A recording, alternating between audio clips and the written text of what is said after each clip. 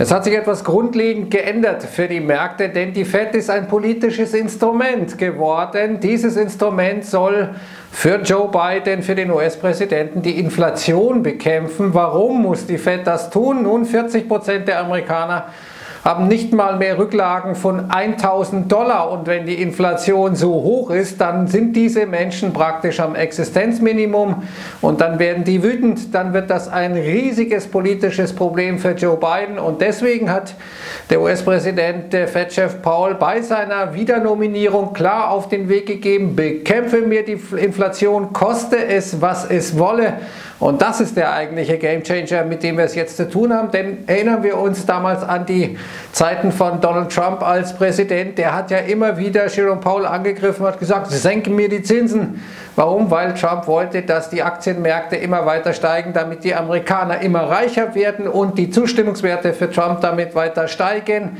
Jetzt ist es etwas komplett anderes, denn jetzt steht die Fed und steht äh, Paul vor der Entscheidung, naja, treffe ich jetzt diejenigen, die von den Aktienanstiegen und von den Immobilienpreisanstiegen profitiert haben. Also treffe ich die Profiteure der Vermögenspreisinflation, die jahrelang ja in Saus und Braus leben konnten, oder opfer ich die äh, unteren 40 Prozent, die nichts in der Tasche haben? Und die Antwort scheint mir klar zu sein. Und ich versuche diese ähm, Antwort auch äh, zu belegen in diesem Video, das den Namen trägt, die FED, äh, die Inflation, Joe Biden und Millionen Investment-Genies, denn das ist ja das, was äh, letztendlich äh, diese FED-Politik jahrelang verursacht hat, das Ansteigen von Vermögenspreisen, von Aktien, da wurde jeder Schrott nach oben getradet, war plötzlich total wertvoll.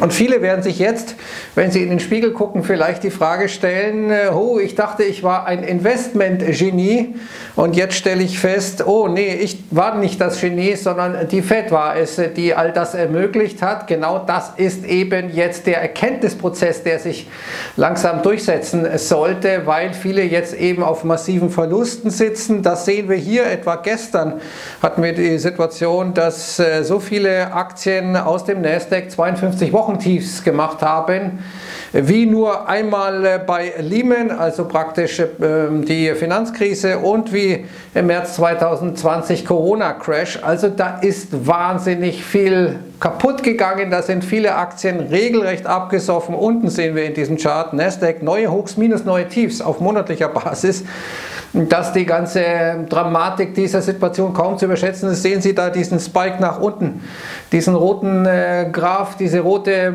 Linie, diesen roten Balken, das ist schon ein verheerendes Desaster, was ja schon passiert ist, was nur in den Indizes nicht so sichtbar ist, weil eben die großen Tech-Konzerne das noch einigermaßen immer noch oben halten. Woanders aber hat es auch äh, massiv gekracht.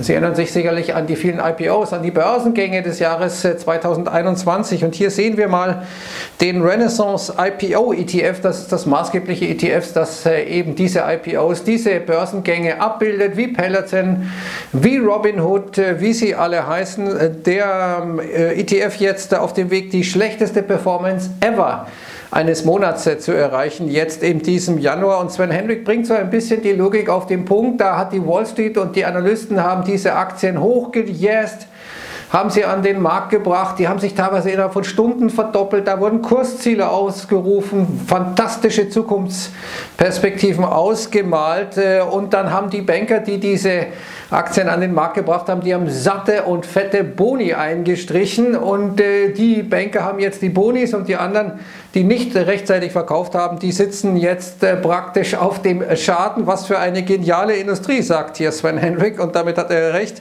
Und all das ist nicht mal illegal, all das ist legal und es zeigt, dass da doch durchaus vielleicht ein Punkt dabei ist, äh, jetzt mal jene ein bisschen anzugehen, die eben die großen Profiteure waren, nämlich die Wall Street. Und die Wall Street wäre ja am meisten betroffen, wenn es mit den Aktienmärkten ein bisschen schwieriger wird. Aber wir sehen das auch etwa bei diesen Meme-Stocks, äh, GameStop, AMC, wie sie alle heißen.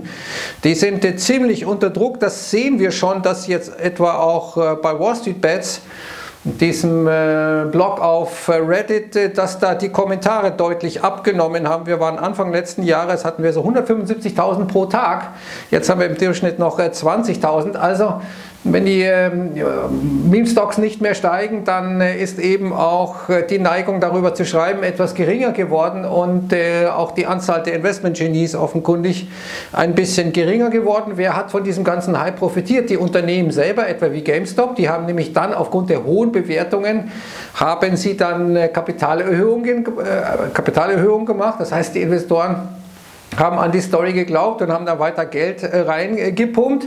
Dadurch äh, konnten die Unternehmen sich ein Stück weit sanieren. Gut für die Unternehmen, aber schlecht für die meisten Investoren, zumindest wenn sie ähm, dem Prinzip gefolgt sind, das bei Meme Stocks äh, ja durchaus en vogue war, nämlich niemals verkaufen, sitzen bleiben, eher nachkaufen. Das war dann vielleicht jetzt nicht so die allerbeste Idee. All das Symptome letztendlich einer vergangenen Epoche, die jetzt zu Ende ist wahrscheinlich. Denn es hat äh, jetzt die FED diese Drehung gemacht und damit sind solche Phänomene eben schlichtweg nicht mehr denkbar, nicht mehr machbar. Und gestern haben wir ja diesen massiven Rebound gesehen, nachdem es vorher ja saftig nach unten gegangen war. Und äh, hier hat der JP Morgan äh, nochmal klar gemacht, wir hatten ja gestern ein 5% Reversal, das heißt der Nasdaq etwa 5% von seinem Tief dann nach oben gemacht. Und jetzt hat JP Morgan sich mal die Vergangenheit angeschaut und hat gesagt, also in vier der letzten sechs Male war es so, dass die Märkte dann ziemlich deutlich gefallen sind, und zwar durchschnittlich 1,6 Prozent.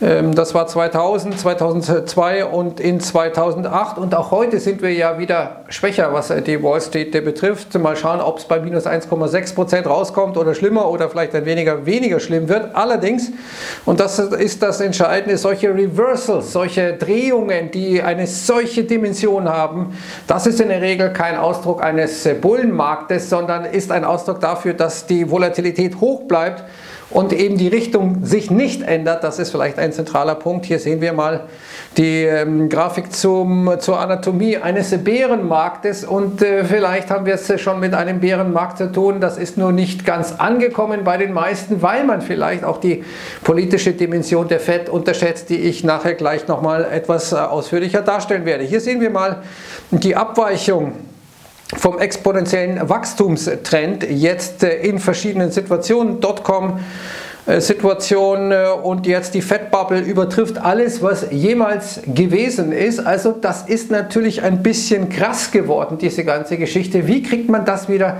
auf eine normale Dimension? Das ist die große Frage. Und Jeremy Grantham, dieser legendäre Investor hat ja gesagt, also er geht davon aus, dass äh, die Wall Street äh, massiv verlieren wird, dass die Aktienmärkte massiv einbrechen werden, dass da eine Blase der Fall ist.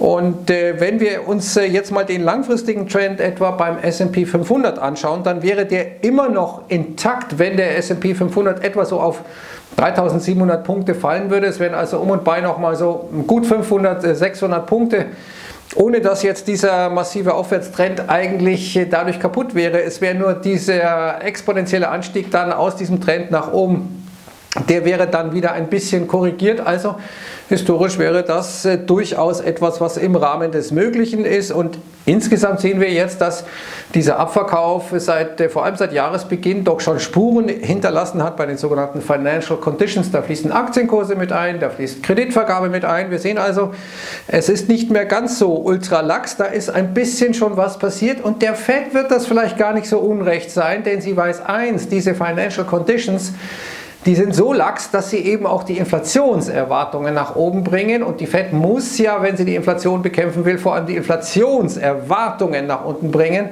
Als eine self-fulfilling prophecy, wenn ich Inflation erwarte, dann agiere ich auch so, dann kaufe ich lieber heute als morgen, weil ich weiß, ah, morgen wird es noch teurer. Also damit wäre ein erstes Teilziel der FED schon mal erreicht, wenn es in Sachen Inflationsbekämpfung geht oder um die Inflationsbekämpfung geht. Und wir sehen jetzt auch bei den Unternehmen erste Bremsspuren. Das erste Mal seit April 2020, so hat Jim Bianco hier gezeigt, ist die sogenannte Earnings Guidance negativ geworden, also die Gewinnprognose der Unternehmen ist doch deutlich schwächer als zuvor. Da ist etwas passiert, da hat es einen Gamechanger gegeben, einen Trendwechsel gegeben, könnte man sagen. Und ähm, all das wird natürlich reflektiert hier durch die Märkte. Wir sehen jetzt, äh, wir haben eine durch, durchschnittliche Range beim S&P 500 jetzt von 4,61 Prozent. Das ist natürlich der Hammer. 4,6 Prozent als äh, Range zwischen Tageshoch und äh, Tagestief. Und viele rechnen jetzt natürlich damit, dass sie sagen, naja, guckst du, äh, Paul und die Fed, die äh, werden sehen, was für ein Schaden da angerichtet worden ist an den Märkten. Insofern wird Paul, wird die Fed morgen versuchen, dann auf der Sitzung die Märkte ein bisschen zu beruhigen und zu sagen, ach, so schlimm ist es nicht, so ernst meinen wir es nicht mit Zinsanhebungen und Bilanzreduzierung, aber da habe ich meine Zweifel. Ich glaube, dass die Fed genau das tun wird, was sie vorher gesagt hat. Sie wird an diesem Programm festhalten. Sie wird sagen, wir werden Tapering durchziehen bis Ende März und dann werden wir Zinsen anheben und dann im Laufe des Jahres irgendwann die Bilanz reduzieren. Ich glaube, dass da also keine dovische Überraschung kommt angesichts dessen, was am Markt jetzt seitdem passiert ist. Und seit wann ist das eigentlich so? Wir erinnern uns, die eigentliche Wende würde ich taxieren auf den November, als eben Joe Biden Paul ernannt hat und ihm gesagt hat, bekämpfe mir die Inflation. Das haben die Märkte aber nicht so richtig ernst genommen, obwohl Paul Brainard, viele Mitglieder der FED sich schon sehr hawkisch geäußert haben, hat man nicht ernst genommen. Erst als das Protokoll der letzten FED-Sitzung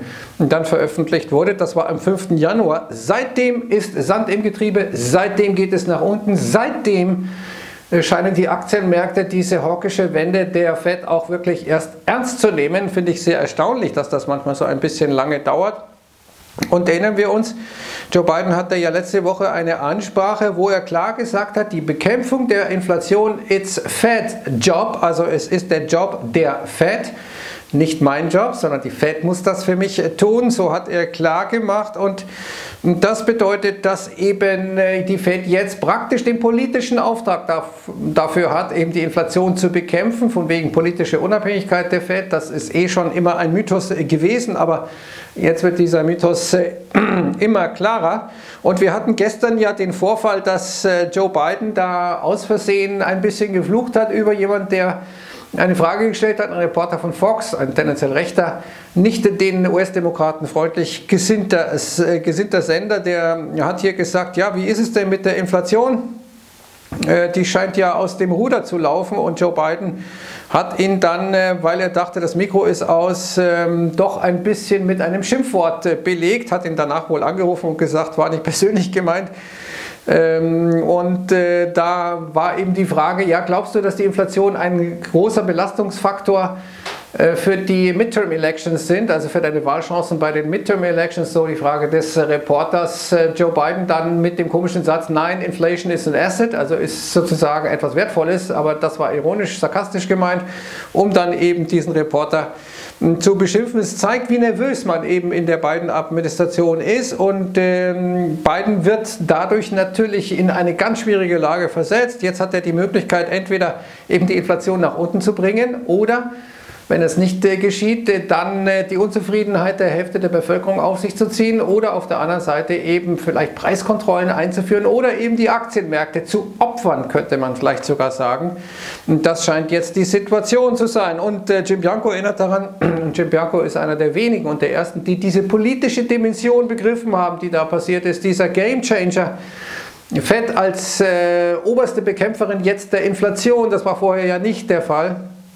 Der erinnert daran, dass in den 70er Jahren ja noch richtig äh, Action war. Da sind äh, Bauern mit ihren Traktoren äh, vor die FED gefahren. Da ist ein bewaffneter Mann in die FED eingedrungen und wollte FED-Mitglieder letztendlich äh, gefangen nehmen. Da gab es richtig Druck von vielen ähm, Organisationen damals äh, auf die Fed. Also das ist etwas, was ähm, durchaus schon heftiger war. Jetzt geht ja kaum einer auf die Straße, aber die Leute sind unzufrieden und das ist eben die Gefahr der Situation. Und heute hat, äh, äh, hat nicht Jerome Powell, sondern Joe Biden einen interessanten äh, Tweet abgesetzt, wo er sagt, eine Handvoll von ähm, riesigen Firmen dominieren äh, ihren Sektor und äh, die Amerikaner müssen den Preis dafür bezahlen. Damit meint er, dass diese Firmen praktisch eine Monopolstellung haben, diese Monopolstellung ausnutzen, dadurch die Preise gestiegen sind. Das ist seine These.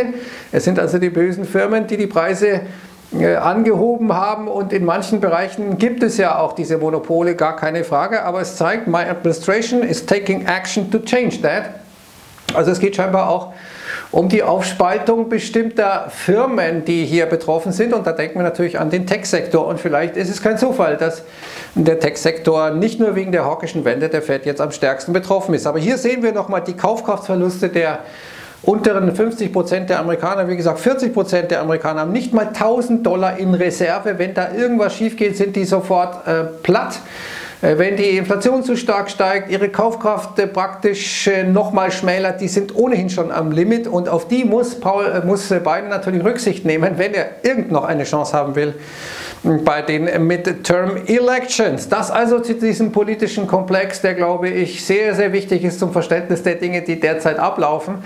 Und jetzt machen wir den Switch auch um die USA geht es bei diesem Thema, nämlich Gas. Hier haben jetzt die USA gesagt, äh, wir kümmern uns darum, dass die Energieversorgung gesichert ist, auch wenn da mal was schief geht mit dem Gas aus Russland. Also wir versuchen Europa unabhängiger zu machen von russischem Gas. Da will man jetzt äh, eben die Flüssiggasanbieter im eigenen Land versuchen zu aktivieren. Man hat Katar offenkundig angesprochen. Mensch, schickt doch mehr Gas nach Europa. Und jetzt ist die Frage, wird es da Sanktionen geben? Werden die Europäer welche Sanktionen mittragen? Da arbeitet man massiv daran. Und äh, ich habe abschließend äh, heute einen Artikel geschrieben äh, mit dem Titel Russland, worum geht es Putin wirklich über Phantomschmerzen, wo meine Argumentation die ist, dass ich sage, Putin, ähm, und da bin ich ganz in der Nähe dieses deutschen Marinegenerals, der ja jetzt zurücktreten musste, weil er gesagt hat, die Krim wird nie wieder zurückkehren. Und hm, ist das wirklich ähm, unrealistisch, was der Mann gesagt hat, der auch gesagt hat, die, was hat Russland davon, wenn man einen Streifen oder wenn man die Ukraine irgendwie annektiert? Nein, es geht den Russen und es geht vor allem Putin sehr, sehr wahrscheinlich um etwas anderes. Und worum es Putin geht, das habe ich in diesem Artikel mal versucht auszuführen. Den werde ich unter dem Video verlinken und wünsche jetzt einen wunderbaren Feierabend und sage Servus und Ciao.